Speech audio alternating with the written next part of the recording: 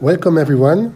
I am Hubert Auro, urologist consultant at Hospital Argenteuil, and I am going to show today a radical prostatectomy with lymph node dissection performed by Versius surgical robot. Our scrub nurse is draping one of the robotic arms. This is a 360 degrees video and you would be able to scroll around and explore the theater. We are now doing what we call the port training. We place the tip of the instrument or the camera at the limit of the skin and we do rotational movement to make the system identify the pivot point, which is the entrance point of the instrument inside the abdomen. The surgery starts by dropping down the bladder. This uh, step is very easy, and sometimes we can do it laparoscopically.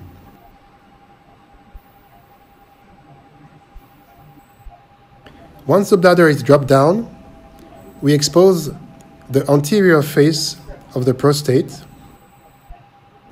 and we expose also the endopelvic fascia. the endopelvic fascia is open and the puboprostatic ligaments are exposed and dissect.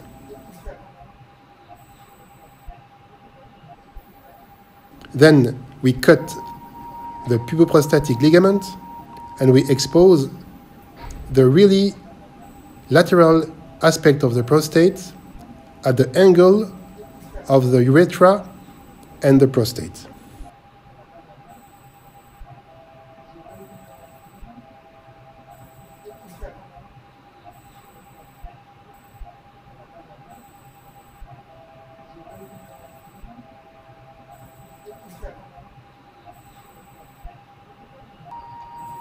Right now you can see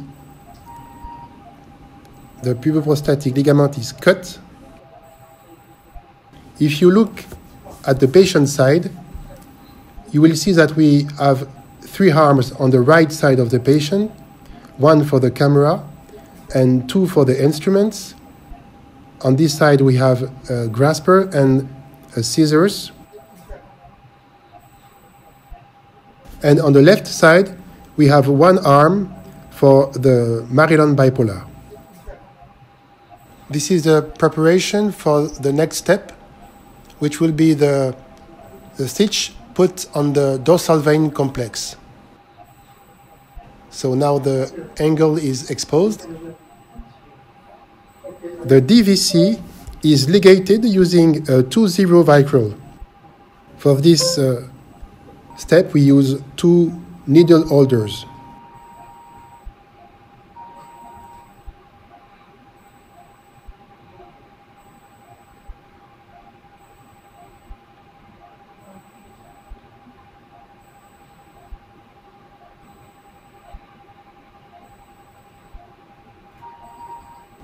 Then we separate the prostate from the bladder with a bladder neck preservation.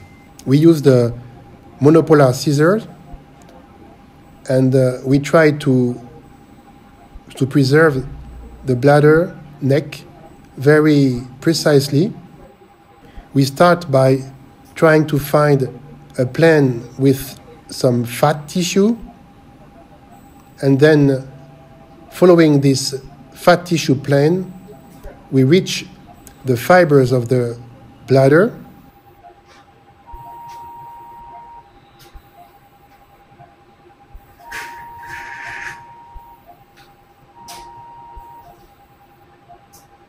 the bladder is uh, separated from the prostate with a conservation of the bladder neck. The assistant is uh, placed at the left side of the patient. He uses a trocar which is placed uh, near and between the trocar of the camera and the trocar of the green arm this trocar is uh, preferably used for the aspiration instrument. The assistant can have another trocar for the clips or for the grasper. This uh, second assistant trocar is placed near and under the green arm.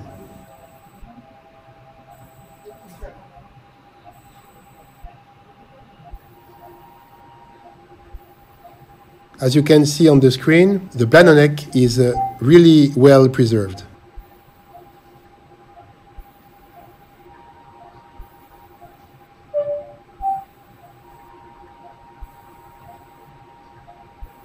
We can see the Foley catheter.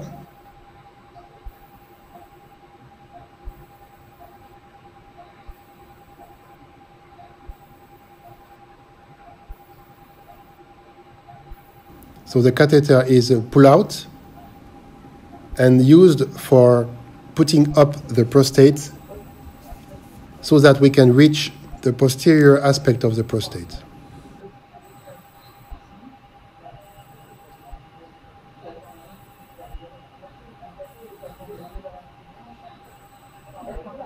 For surgeons with long experience of laparoscopy, starting robotic surgery can be difficult due to the port placement modification. One big advantage with Versius system is that the port placement remains the same than in laparoscopy. This is also a big advantage for hybrid procedures, especially useful at the beginning of the learning curve.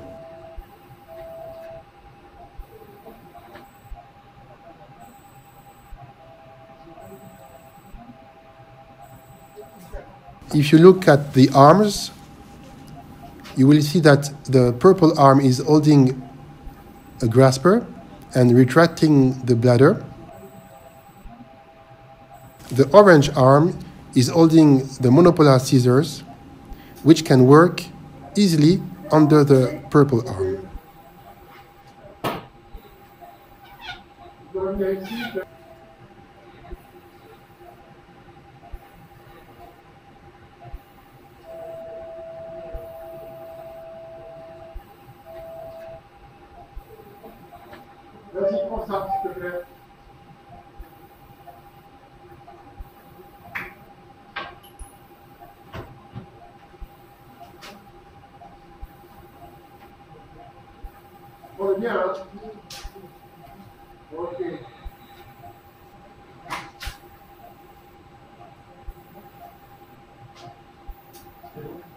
We usually use a metallic curved mandrel to lift up the prostate.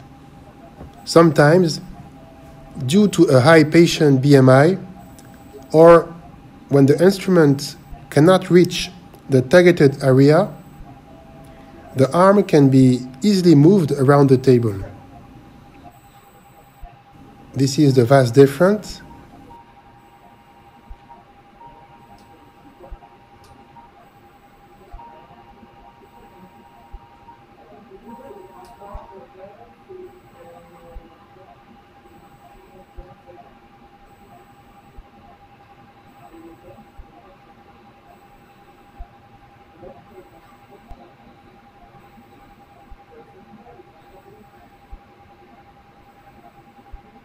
Ici maintenant, sur le côté là. Voilà.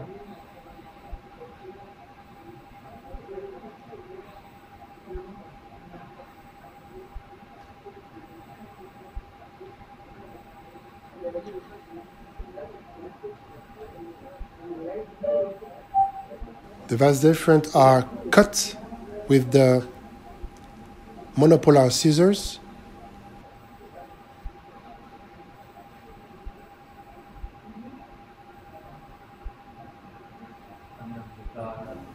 The seminal arteries are cauterized with the bipolar Maryland instrument.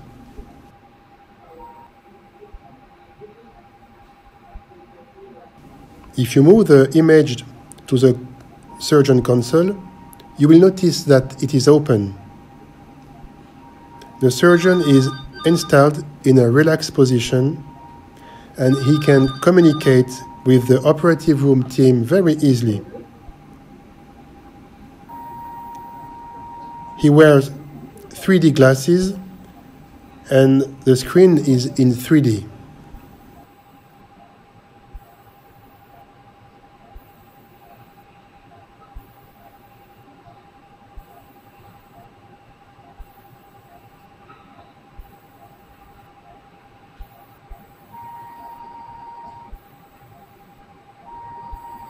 If you go back to the internal view, you will see that I am now performing a preservation of the neurovascular bundles by peeling the lateral face of the prostate thanks to the articulation of the instruments.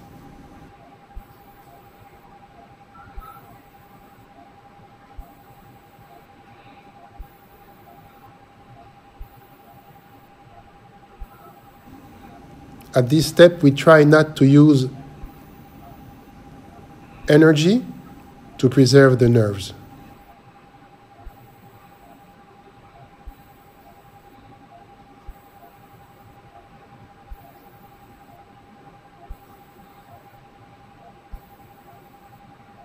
When the prostate is completely free, we can now dissect the apex and try to preserve the sphincter.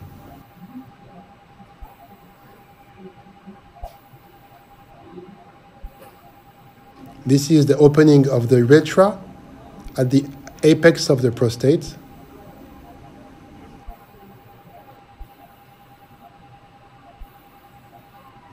And you can see that we try to keep safe all the fibers of the sphincter.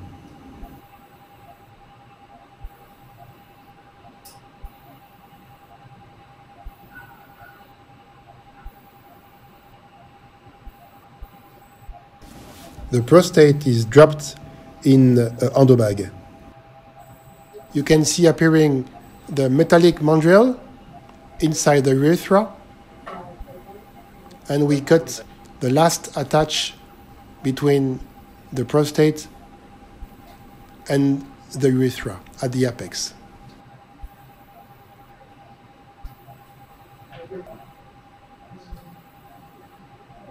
The prostate is completely detached and put in a bag.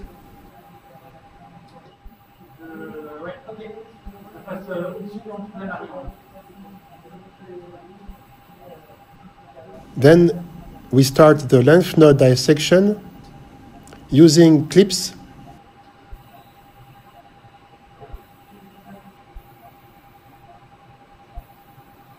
The lymph node dissection is uh, performed on the standard way on both sides.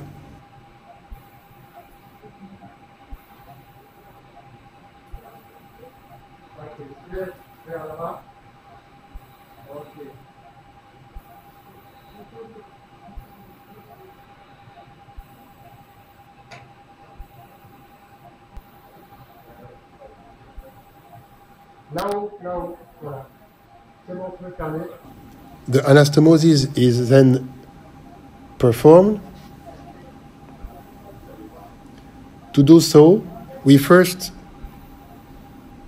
proceed on a posterior wall reconstruction before the anastomosis itself.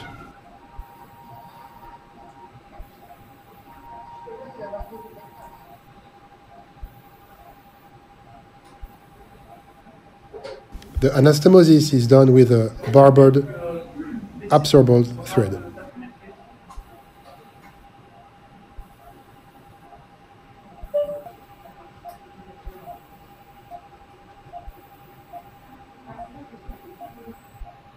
So this is the reconstruction.